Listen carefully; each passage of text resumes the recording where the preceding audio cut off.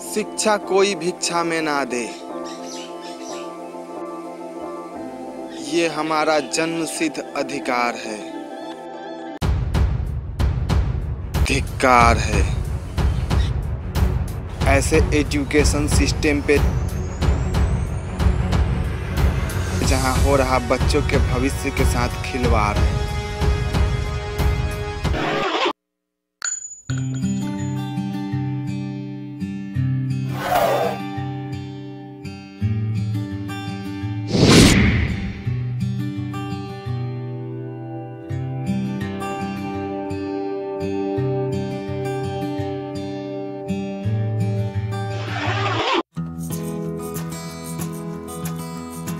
ये है विनय कुमार।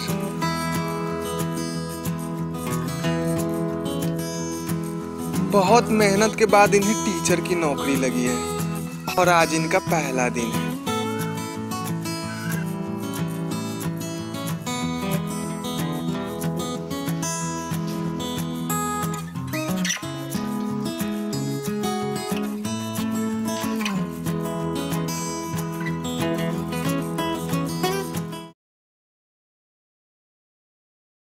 क्या बात है कि रजिस्टर में पचास बच्चों का नाम रजिस्टर्ड है और सिर्फ़ तुम लोग पाँच ही आए हो? सर जी आज सोमवार है। शुक्रवार को सब अंडा खा गया सर हाजिरी देखिए तो कितना पूरा है। हाजिरी देख कर क्या करेगा? हाजिरी पूरेगा तब ना पैसा मिलेगा। हाजिरी पुराने आता है कि पढ़ने आता है? भागता है कि नहीं आता?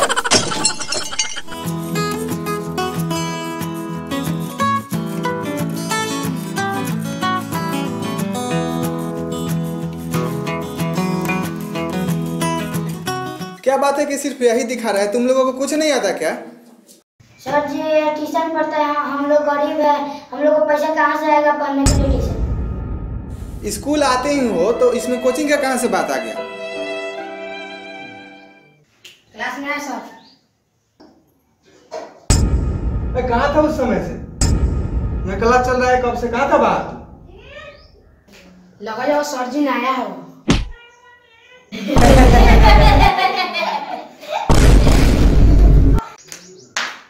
वो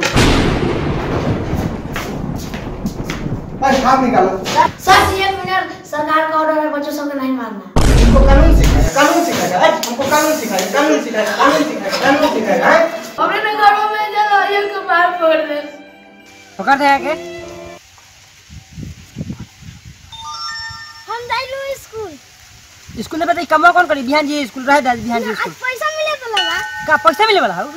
का पैसा मिले वाला हौ हाँ। चल चल चल चल हम चाहिए चल। अरे सर आप किन चक्कर में पड़ गए? मोबाइल में नेट पैक नहीं है। नहीं है तो हमसे वाईफाई ले लीजिए। बैठ के व्हाट्सअप फेसबुक यूज़ कीजिए। अरे देख रहे हैं सर यहाँ पे पढ़ाई का किसी को परवाह ही नहीं। है यहाँ पे पढ़ाई हो या ना हो कोई नहीं पूछता। बच्चा खाना खाता है घर भाग जाता है। और वो आ रहे हैं ना जो बच्चा लेकर के। देखिएगा वो क्या बोलेंगे। का माटा साहब बोलिए क्या बात है? कभी एकरा पैसा काहे नहीं खन दे? देखिए नियम है कि 75 परसेंट से हाजिरी जिसका कम हो उस बच्चा को पैसा नहीं मिलता है। हाँ तब है कि स्कूल भेज तो घरे के कमवा के करी। हम सब कुछो ना जानी एकरा पैसा मिले के चाहिए कह दे ले हाँ।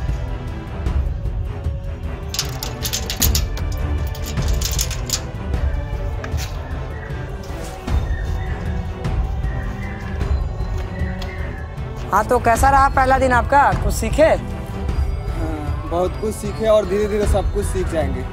लग रहा है आप कुछ भूल रहे हैं? नहीं। कुछ भी तो नहीं भूले। नहीं मैं तो विदाउट हेलमेट आया था। याद है वो बच्चा क्या बोला था? अरे ना हमरा घरों में ईंटों से को मार मार के सर फोड़ देगा उसका कोई ठीक नहीं है। कभी भी कुछ भी कर सकता है। लड़ रख लीजिए सेफ्टी के लिए।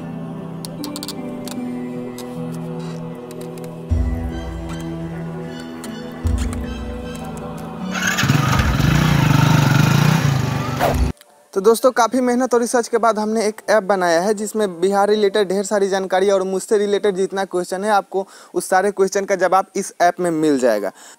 तो आपको डिस्क्रिप्शन और कमेंट बॉक्स में लिंक मिल जाएगा गूगल ड्राइव का, जहाँ से आप डाउनलोड करके इंस्टॉल कर सकते हैं और आप अपनी नॉलेज इंक्रीज कर सकते हैं और हमारी मदद कर सकते हैं।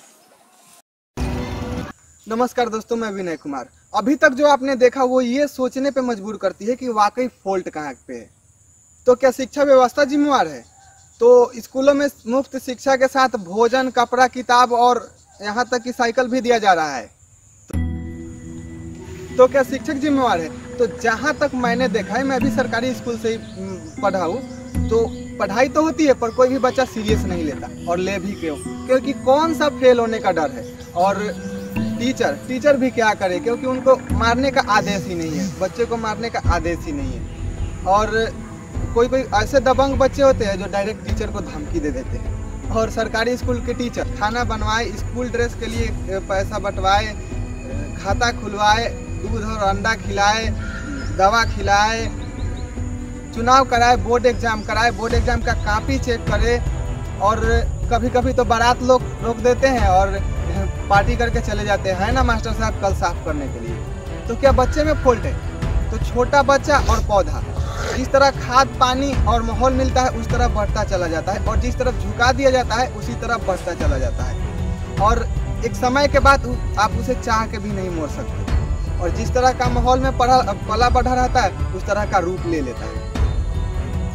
तो क्या अभिभावक जिम्मेवार है? तो जहाँ तक मैंने देखा है कि जिस बच्चे का नामांकन प्राइवेट स्कूल में होता है, उस बच्चे को सुबह उठाकर, तैयार करके स्कूल ड्रेस पहना कर और अगर सुविधा ना हो तो स्कूल तक छोड़ने जाया जाता है और फिर वापस भी लाते हैं लोग। और यहाँ तक कि स्कूल ड्रेस, कपड़ा और हर चीज़ का चार्ज लगता है, यहाँ तक कि स्कूल भी चार्ज करती है और हर चीज़ का व्यवस्था अपने पैसे से किया जाता है। और वही बच्चे का नामांकन अगर सरकारी स्कूलों में होता है तो किसी तरह दौड़ा दिया जाता है। खाना खाए, ना खाए, कोई मतलब नहीं, है नहीं सर का, सर लोग हैं ही खाना खिलाने के लिए। और ड्रेस ड्रेस का पैसा दिया जाता है, फिर भी बहुत कम बच्चे ड्रेस में नज़र आते हैं। और यहाँ तक कि सरकारी डिपार्टमेंट के बहुत अधिकतम लोग और यहाँ तक कि टीचर भी अपने बच्चे को प्राइवेट स्कूल में एडमिशन करा रहे हैं, प्राइवेट स्कूल में पढ़ा रहे हैं।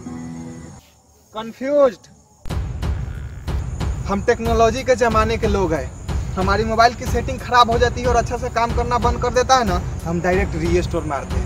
कहने का मतलब है कि डिपार्टमेंट में कुछ ऐसे टीचर हैं जो पढ़ाने के लायक नहीं और यही सारे टीचर को बदनाम कर रहे हैं। इन्हें तो निकालना बहुत ज़रूरी है क्योंकि ये आते हैं सैलरी के लिए और बैठ कर चले जाते हैं। ये मेरा देखा हुआ है।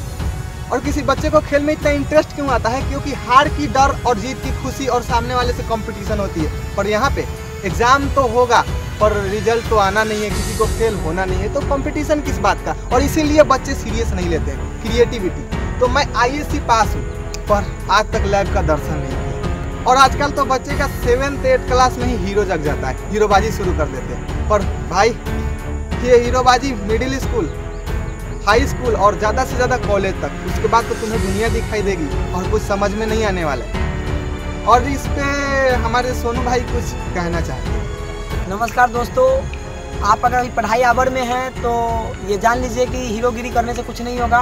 Class seven, eight, nine, ten, किसी भी क्लास में है तो हीरोगिरी छोड़ दीजिए। क्योंकि हीरोगिरी से कुछ होने वाला नहीं है, और जब ये ज़रूरी नहीं है, और ये ज़रूरी नहीं है कि ठोकर खाकर ही नॉलेज बढ़े।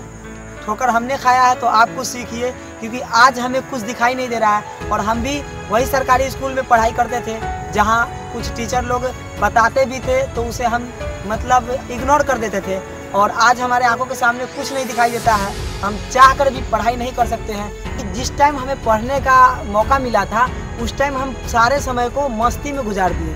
और आज के डेट में हम चाहकर इसलिए नहीं पढ़ सकते, क्योंकि मेरा जड़ स्ट्रॉन्ग आपको हम ये कहना चाहते हैं कि आप अभी से ही फोकस कीजिए पढ़ाई पे और जड़ को मज़बूत कीजिए। क्या आप भी इस सिस्टम के मारे हैं? तो ये आपकी और हमारी बदकिस्मती थी। पर यही रहा तो ये हमारी लापरवाही होगी। कहते हैं, आज के बच्चे कल के भविष्य है। पर इस भविष्य को राजनीति के चक्की में पीसा जा रहा है। तो दोस्तों, माफ़ी चाहूँगा कि वीडियो आने में काफ़ी लेट हो जाती है, क्योंकि हमें भी बहुत काम होता है। और एक बात का विश्वास दिलाता हूँ कि कभी भी आपको कचरा कंटेंट देखने को नहीं मिलेगा। जो भी मिलेगा फ्रेश मिलेगा। मैं चाहता तो सिंपल कॉमेडी बनाकर व्यू ले सकता था पर ये सब करने से कुछ और ही खुशी मिलती है। और आपको इस वीडियो को सीरियस लेना है और आपको जिम्मेवारी के साथ इसे शेयर करना है। वीडियो को क्रिएटिव कॉमेंट में डाल दूँगा ताकि आपको भी कुछ मदद मिल सके। बहुत सारे भाई लोग कहते हैं कि मदद कर दो तो आपको मैं आपका इससे ज़्यादा मदद नहीं कर सकता। और ये वीडियो कोई हवाबाजी नहीं था। मैं काफ़ी रिसर्च करके और बहुत सारे लोगों से मिल के यहाँ तक कि टीचर लोगों से भी मिला और उसके बाद बनाया। तो वीडियो अच्छी लगी हो तो लाइक कर दीजिएगा और चैनल को सब्सक्राइब करके नोटिफिकेशन ऑन कर लीजिएगा ताकि हमारे वीडियो का लेटेस्ट अपडेट आपको मिलता रहे। तो वीडियो को अंत तक देखने के लिए, अपना मूल्य, समय हमें देने के लिए आपका तहे दिल से शुक्रिया और शुक्रिया उन सभी लोगों का वीडियो को बनाने में सहायता किए। तो दोस्तों, हमारे ऐप को ज़रूर डाउनलोड करें और हमारी मदद करें।